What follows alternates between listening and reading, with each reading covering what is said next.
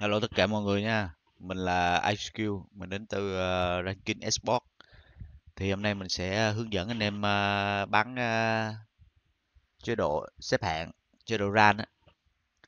Thì đầu tiên là anh em đăng nhập vào game và nó sẽ hiện ra cái màn hình chờ như thế này.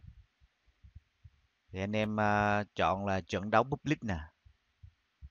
Đây. Đây. Sau đó uh, anh em bấm vào đây à, nó có nhiều chế độ. Chế độ đầu tiên là chơi 4 5 năm nè. À. chế độ này là đấu đội. Còn cái này là chơi giao. Còn cái này là solo. Còn cái này là chế độ snip. Solo. À, nó có nhiều chế độ lắm anh em. Thì có chế độ zombie nè slow. Solo chế độ khác nữa. Bậc thầy bắt cua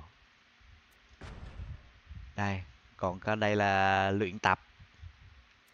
Luyện tập ném nè. Luyện tập bắn nè.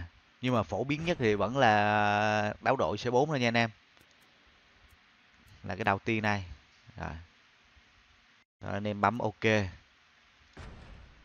À, xong anh anh em chỉ cần bấm bắt đầu rồi à, ở trên này chờ có trận thôi. Khoảng à, đây bấm như thế này. Rồi khi nào à, nổ nổ một cái là bắt đầu nó sẽ kêu là đang vào trận. Là được nha anh em. Ok. À, chúc anh em à, bắn ra anh tốt nha.